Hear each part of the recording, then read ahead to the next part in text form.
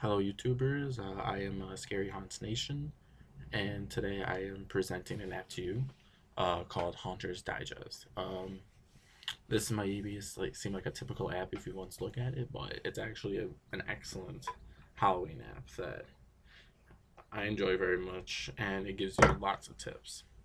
Um, just to start off with, our main menu screen right here.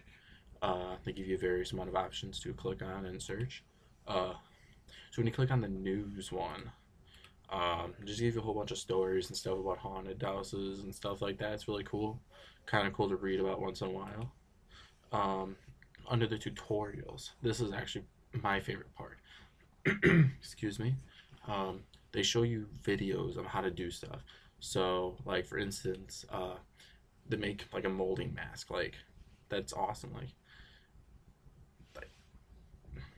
you can make your homemade do-it-yourself Halloween stuff. They show you exactly how.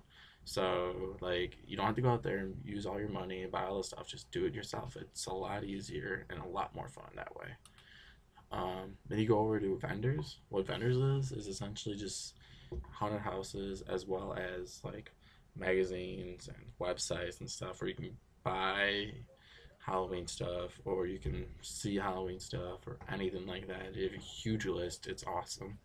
Um, and then you click on when you click on more. This is what you come up with. Uh, the podcasts are really cool. Photos. Um, here are the examples of some of the photos right here. Uh, these are just taken from various haunts. You can't really do anything with them, but they're kind of cool to look at. Um, the videos. Videos are really cool. Once again. Um, and yeah, you can submit your comments. Follow them on Twitter because they got they're they're good. I follow them on Twitter. Um, and uh, just want to say thank you for uh, watching my video.